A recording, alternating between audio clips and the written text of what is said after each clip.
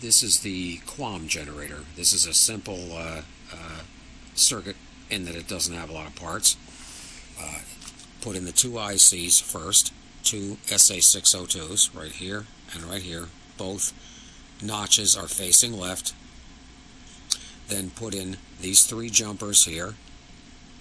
Then you're going to put in four electrolytic capacitors. First one over here. Where am I? Right here. Uh, negative toward the left.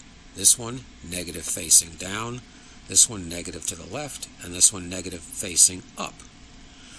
Put in a 220k resistor. that's red, red, yellow right here. Tent wise like that. Then over here, there's a 680 ohm resistor, gray, uh, wait a minute now, blue, gray, brown, 680 ohms. A 470 picofarad capacitor goes here in these two little holes here, and another 470 picofarad goes here. You'll put in two more 47 picofar uh, 470 picofarads here and here, and then 456 picofarads right here in between this line.